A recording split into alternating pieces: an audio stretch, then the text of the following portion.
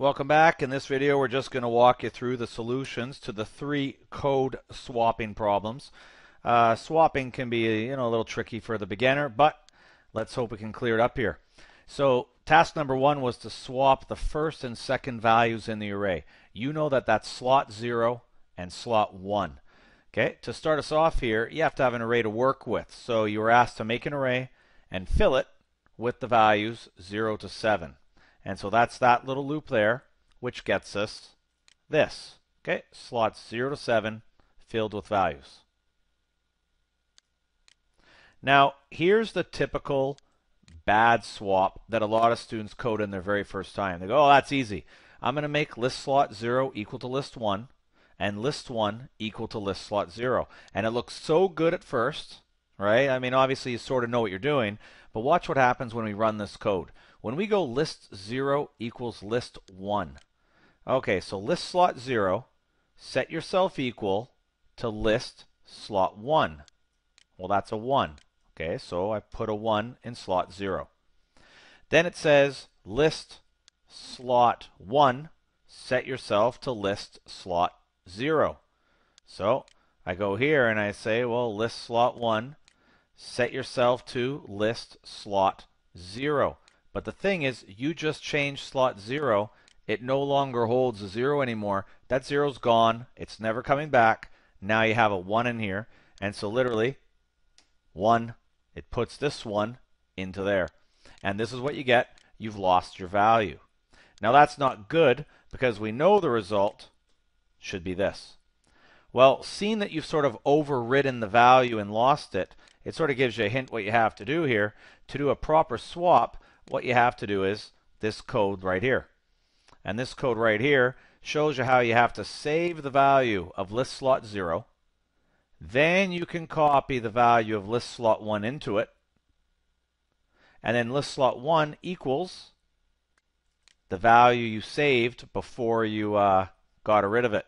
So you sort of saved it in this temp variable. So that's a good swap. There's other ways to do it, but that's sort of the clean beginner way. Three lines of code, to do a swap. That really is one you want to have in your back pocket. Uh, it's used in a lot of different routines, right? Swapping two values in an array.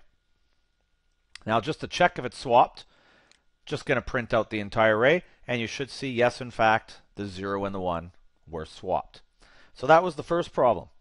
Second problem was select two random positions in the array and swap their values.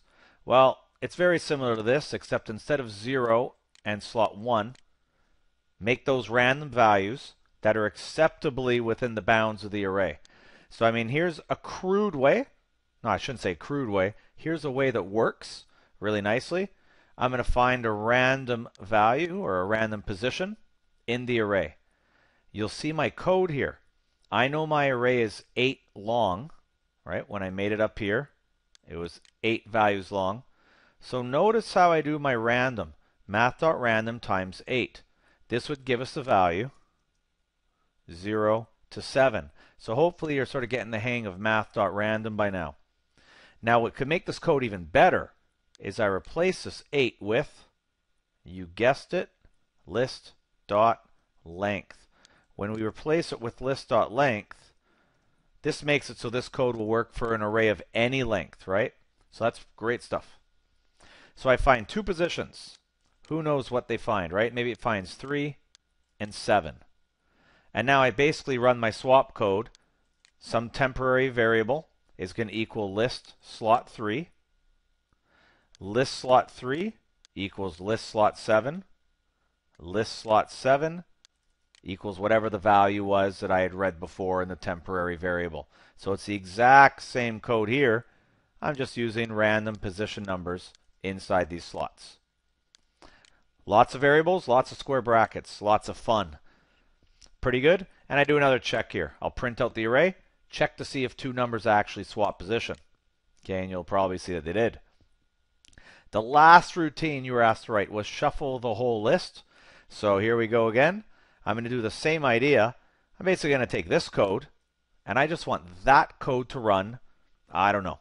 If the list was 10 long, 8 long, I want to run it 20, 25 times. Okay, run it a bunch of times so there's a whole bunch of swaps until you're pretty sure you swapped enough that the list is shuffled. So just to see that actual code, there's nothing new here other than I put that entire swap code inside a for loop. So after I refill the list to make it look good, 0 to 7, I'm going to run this loop list length times 2. So if the, my length was 8, this is going to run 16 times. I'm pretty sure that's good enough to swap everything. Find two random swats, swap the values.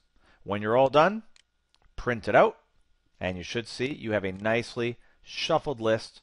No values are lost, no values are duplicated. Okay, everything's worked well. So, if you got those three all on your own, that's fantastic. If you got the first two, that's good. If you got the first one, yeah, not bad. Okay, but you do definitely want to look at this code and make sure you can do all three of these. Okay, they're sort of standard routines with arrays. Thanks for watching. Have fun with the rest of the array practice.